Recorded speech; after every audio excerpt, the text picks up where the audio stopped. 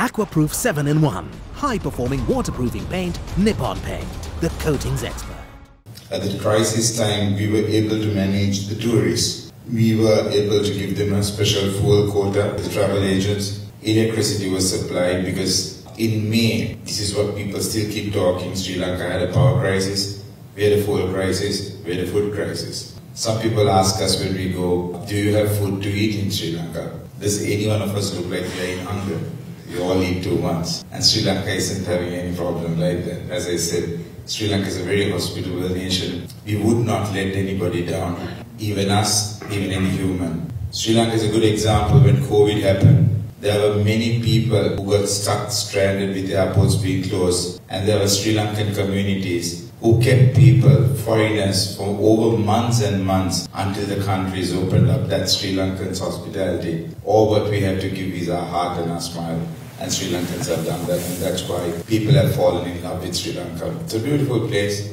I would say it's a miracle if it's on its own. Unfortunately, I blame politicians in the country, which I don't want to. Uh, we sit on a treasure and have not really marketed that treasure well. But don't we have? Within two hours, by road, you can have all four seasons. Can have the coldest weather, coldest in Sri Lanka is not as this cold, but at least it goes up to 8 to 10 degrees, which is quite cold, which is decently cold. Uh, for you, we have the summer, you go to the beach, you get to the surfing, you go to whale watching, you go for your mountain climbing, hiking. So there are lots of new things Sri Lanka is doing and one thing we really want to market now is our wellness tourism. We have a very big, strong wellness tourism package and I've, I've met a lot of Germans who come to Sri Lanka for wellness, the Ayurvedic treatments, as well as the sun, the power, the positive energy, the yoga, the meditation.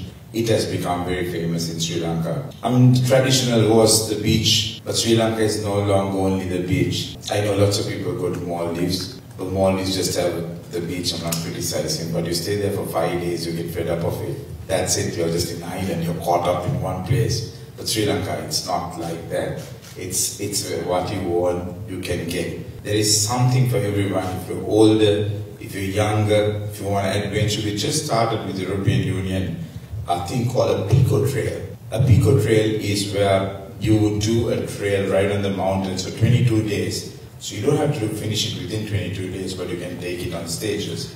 You do the first stage for about four days, and then you go to the beach, you rest about five more, six days, and then you go back to your country. But when you're on the desk in shivering cold, your memory will be at the Pekoe Trail to finish the next four days. So that's a concept that we have built in Sri Lanka. What we want Sri Lanka is not to be a bucket list where you tick like you go to Thailand, I've been to Thailand. No, Sri Lanka isn't that. Sri Lanka is something that we want to offer more. Us, our hospitality, our love, our care, and our beautiful country. And what we have when it comes to religious tourism, we are a very diverse nation. We have all religions, respect every religion, and we even respect certain beliefs So Sri Lanka has all that it has to offer, and all I could say without going further and further and further is that you need to visit next flight before you leave.